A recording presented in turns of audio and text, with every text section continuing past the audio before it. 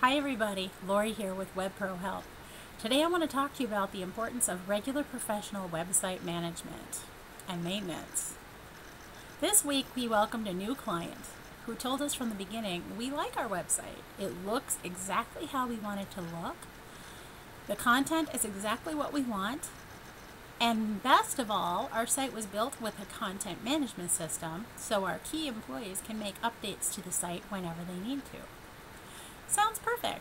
Let's just do a site review. In our site review, we discovered some very alarming things.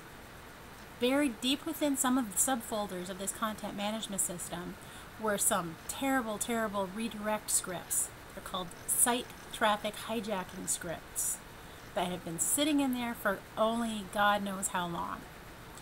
And another thing we discovered was that one of their past employees in 2008 redirected all of the mailto links to his own private email address.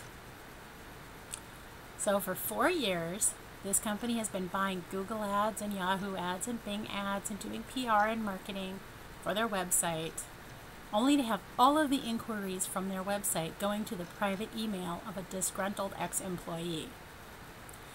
Luckily, with the content management system, we were able to look through all iterations of changes of that page going back for four years to discover exactly when it happened. So even if you are satisfied with your website and you like it, maybe you love it, it's really a live thing because it's out on the internet and you need to keep tabs on it and make sure that it's well. Think of your Web Pro help as a doctor and give your website a regular checkup.